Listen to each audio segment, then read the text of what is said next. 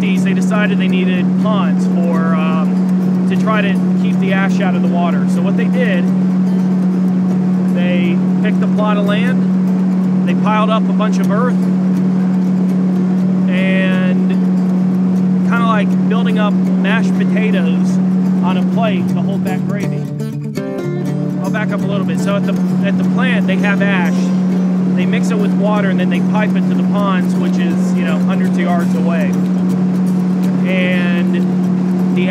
Settles out, and then they skim the water that shouldn't have nearly as much ash off the top and drain that to the lake.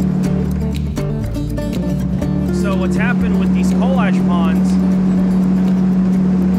is that they've got because they're unlined, they're leaking profusely.